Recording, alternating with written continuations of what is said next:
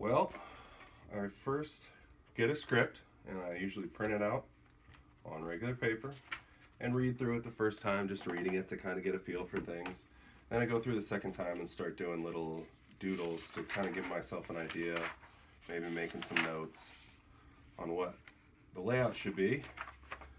And then go through again and refine those further in these itty bitty versions. And just to get the pacing and kind of the staging of everything. And then from there, I go and do them one more size up to really nail down where everything's going to be and what all the characters are and, and all that. And send these in for approval. Who approves them? Uh, my editor at Marvel.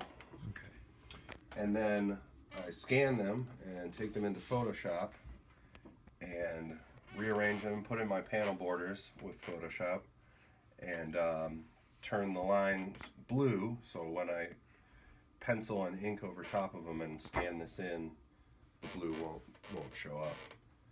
And uh, yeah, then go to work on it until it gets to this state. And then this gets scanned and maybe cleaned up a little bit, any little edits that might need to be done.